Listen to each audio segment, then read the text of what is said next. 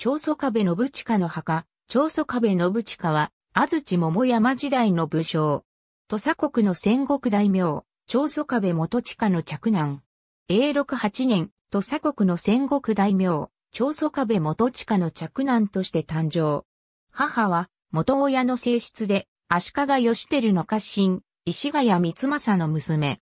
幼少時から聡明であったため、父から寵愛され、天正3年に元親が中島義之助を使者として、織田信長と義美を通じたとき、信長を烏帽子親として、信長の信を与えられ、信親を名乗る。この時、信長から左文字の名刀と名馬を与えられた。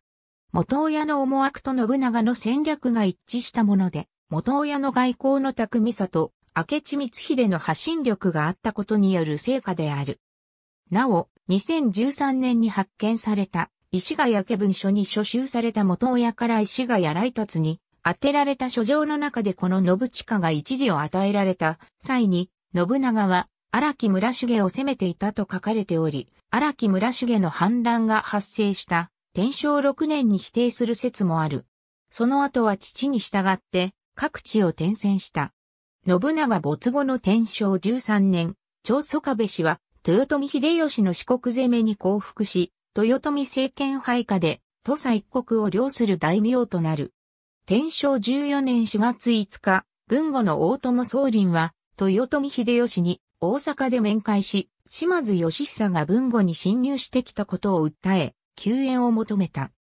秀吉はこれを了承し、黒田義孝に毛利の兵を総括させて先発させ、さらに、讃岐の戦国秀久を首相にし、長宗壁元親、信親を加え、文後に出陣を命じた。島津家久が文後に侵入し、大友氏の鶴ヶ城を攻撃した。12月11日、戦国秀久と長宗壁信親は、これを救援しようと突撃側に陣を敷いた。戦略会議において、戦国秀久は川を渡り攻撃するべきと主張した。これに対して、長宗壁元親は、合戦を待ちそれから合戦に及ぶべきであるとして、戦国の作戦に反対をしたが、戦国は聞き入れず、東郷は里穂も戦国に同調した。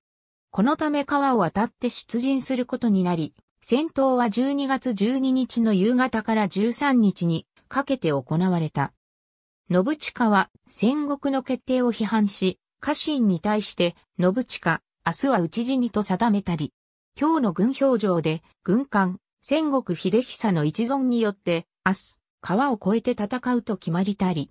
地形の利を考えるに、この方より川を渡ること、罠に臨む狐のごとし、全くの自滅と同じと吐き捨てたという。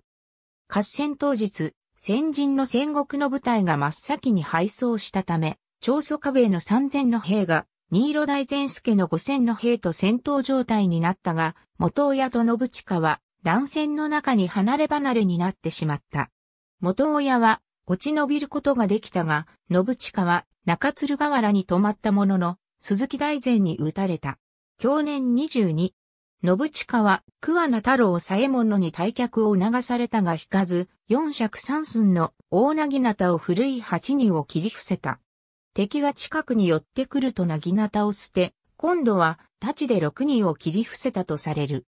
信近に従っていた700人も討ち死にし、東郷は里穂も戦死し、鶴ヶ城も落城した。戦後、元親は、信近の戦死を悲しみ、谷忠清を死者として、島津の陣に使わし、信近の意外をこい受けて、高野山の奥の院に収めたが、後に分骨して、高知市長浜の天はじめ寺に埋葬した。信近は文武に優れ礼儀正しく、父、元親は、信近の将来を大いに嘱望し、また家臣や土佐国の民からの人望も扱ったと言われる。元親は、信近のために、一流の学問、武芸の死を機内など縁国から招いて、英才教育を施し、長祖壁家のさらなる破業を託していた。立派な若武者に成長した信近を、元親は、半海にも劣るまいと自慢し、期待を寄せていたという。織田信長は、信近の噂を聞いたとき、自らの養子に迎えたいと述べたという逸話もある。身長は、背の高さ六尺一寸、要望は、色白く柔和にして、し少なく、礼儀あり手剣ならずと記され、治癒剣美の武将であったと言われる。走り飛びで二剣を飛び越え、飛びながら刀を抜くこともできたという。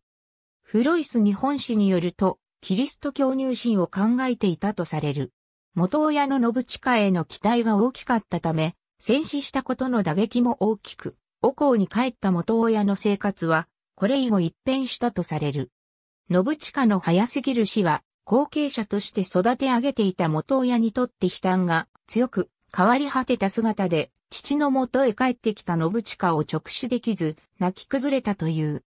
また、信近だけでなく、長祖壁家を背負って立つ若い人材の多くが戦死したこともあり、これより後、長祖壁氏は戦死した家臣団の再建における家臣間のいさかいや後継者騒動によって徐々に衰弱していくことになる。